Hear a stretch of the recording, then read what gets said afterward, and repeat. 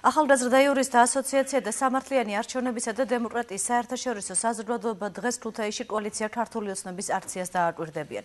დაკვირვებას ორგანიზაციები წინასაარჩევნო გარემოს გრძელვადიანი მონიტორინგის ფარგლებში განახორციელებენ, რაც პოლიტიკური პარტიების მიერ ორგანიზებული საჯარო შეხვედრების მიმდინარეობისა და შეკრებებისა და მანიფესტაციის უფლების განხორციელების მონიტორინგს გულისხმობს.